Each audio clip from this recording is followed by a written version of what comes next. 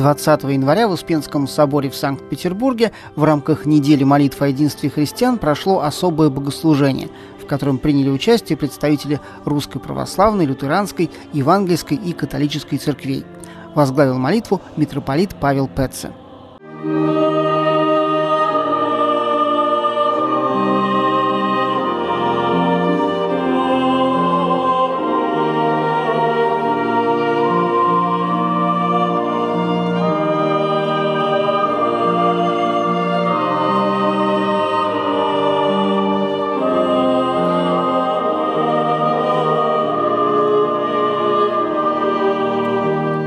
Неделя молитв о единстве христиан проводится с 1908 года.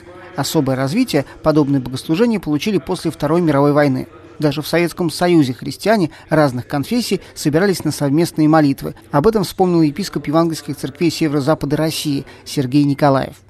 40 лет тому назад в Ленинграде состоялась первая экономическая молитва, которую организовывал владыка Никодим.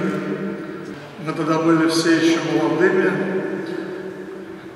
Нынешний патриарх был иеромонахом. И мы мечтали об икумене, о большой икумене, о настоящей, о христианской, о библейской. Когда мы сможем молиться друг друга за друга, когда мы сможем молиться друг с другом. Регулярные совместные межхристианские богослужения стали проводиться в Петербурге с начала 90-х годов, и на них всегда присутствуют православные священнослужители и миряне. В этом году среди участников был протерей Александр Сорокин, председатель информационного отдела Санкт-Петербургской епархии и настоятель Федоровского собора. Город наш, как известно, э, как говорят, православный город, в нем большинство христиан составляют православную церковь, как и во всей стране, в России. А здесь присутствует православных не так много. Ну, вот так, таковы парадоксы нашего единства, что когда большинство составляет какое-то, ну, далеко не всех очевидно, что об этом надо молиться, думать об этом. Православные священники и миряне были среди молящихся в храме – хотя в этом году, 500-летие реформации, особая роль отводилась лютеранской церкви. Ее представлял в частности настоятель кафедрального собора Святой Марии пастор Михаил Иванов. Конечно, мы осознаем, что нехорошо.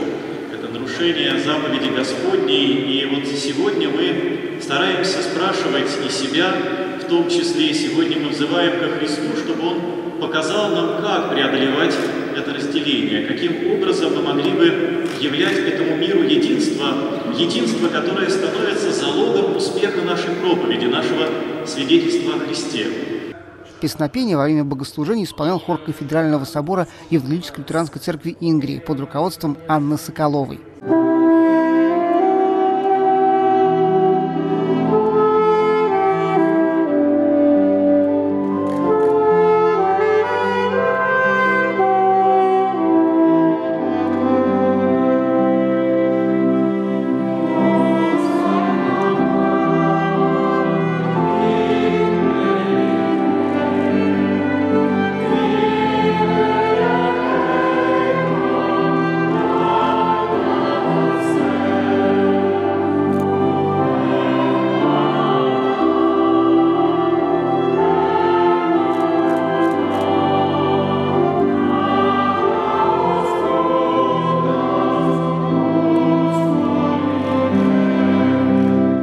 Одним из самых ярких моментов богослужения стало зажжение свечей, ставшее символом света, который должны нести в этот мир все, кто исповедует Христа как своего Бога. Многие участники богослужения отмечали, что в этом году оно было по-особому исполнено любви и согласия. Это, я думаю, самое главное. На самом деле, когда апостол Павел говорит, что любовь Христова объемлет нас, он именно э, ставит акцент именно на искренность нашего ответа. И, и, и наш ответ может быть только удивлен тому, что любовь Христова действует. Подобные богослужения являются не только молитвой, но и зримым подтверждением общего желания совместных усилий идти от разделения к общению во Христе.